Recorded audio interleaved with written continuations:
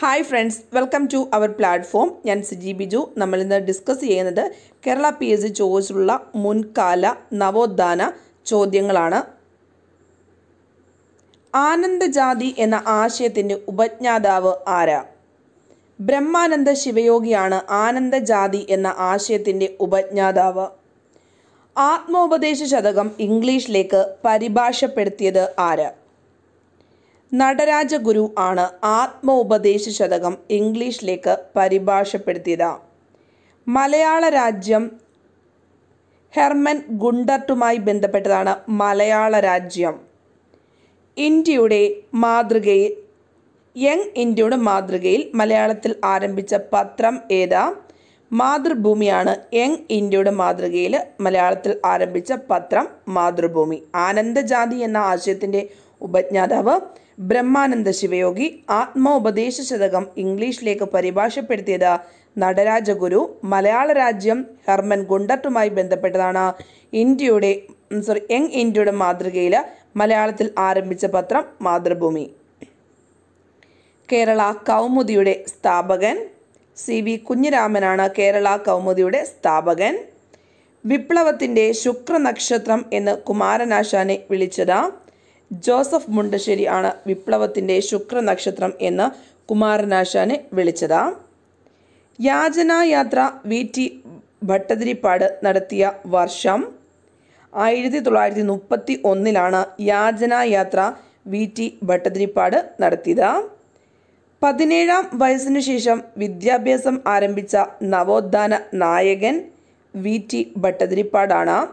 കേരള കൗമുദിയുടെ സ്ഥാപകൻ C V Kunhiraman വിപ്ലവത്തിന്റെ ശുക്രനക്ഷത്രം എന്ന് വിളിച്ചത് ജോസഫ് മുണ്ടശ്ശേരി യാചനായാത്ര ആയിരത്തി തൊള്ളായിരത്തി മുപ്പത്തി ഒന്ന് പതിനേഴാം വയസ്സിനു ശേഷം വിദ്യാഭ്യാസം ആരംഭിച്ച നവോത്ഥാന നായകൻ വി ടി ഭട്ടതിരിപ്പാട്. സാധുജന പരിപാലന സംഘത്തിന്റെ മുഖപത്രം എന്താ? സാധുജന പരിപാലിനിയാണ്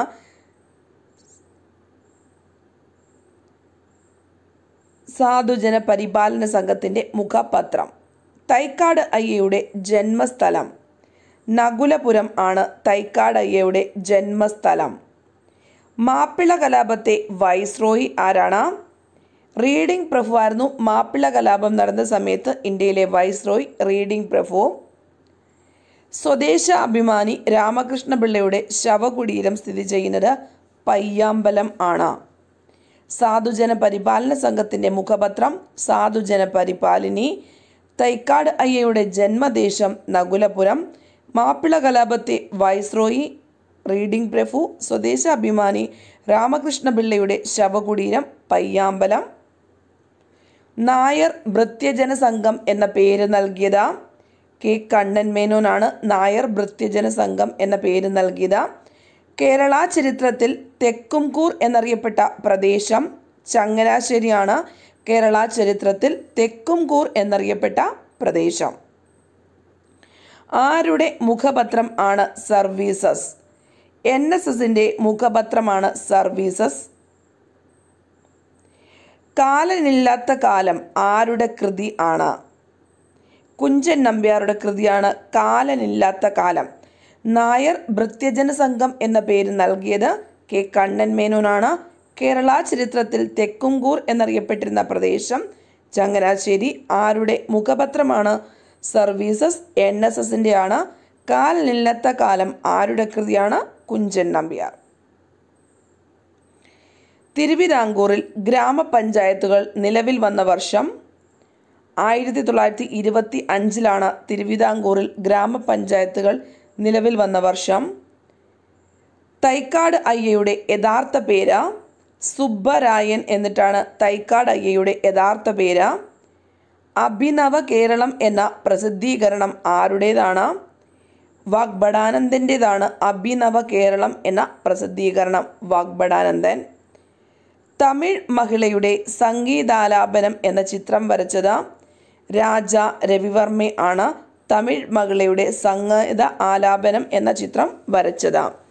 തിരുവിതാംകൂർ ഗ്രാമപഞ്ചായത്തുകൾ നിലവിൽ വന്ന വർഷം ആയിരത്തി തൊള്ളായിരത്തി ഇരുപത്തിയഞ്ച് തൈക്കാടയ്യയുടെ യഥാർത്ഥ പേര് സുബ്ബരായൻ അഭിനവ കേരളം എന്ന പ്രസിദ്ധീകരണം ആരുടേതാണ്?